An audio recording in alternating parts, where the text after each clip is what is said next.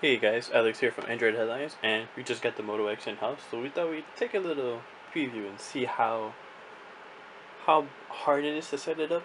Probably isn't too hard since it is basically stock Android, but you know carriers sometimes add in some extra stuff, so we're just gonna check it out and see how it goes.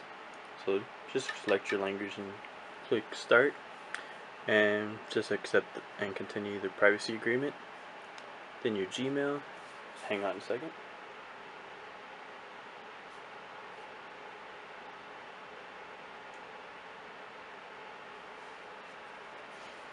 And there we go, signing into my Gmail. And well, so far I'm kind of impressed.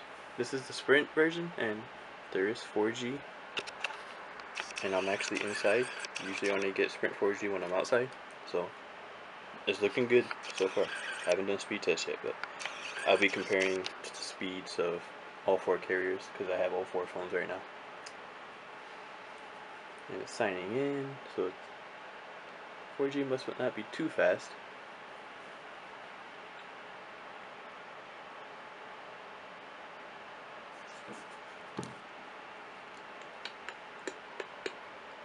Maybe I should skip that.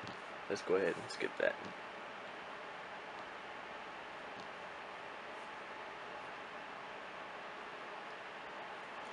Let's do not now.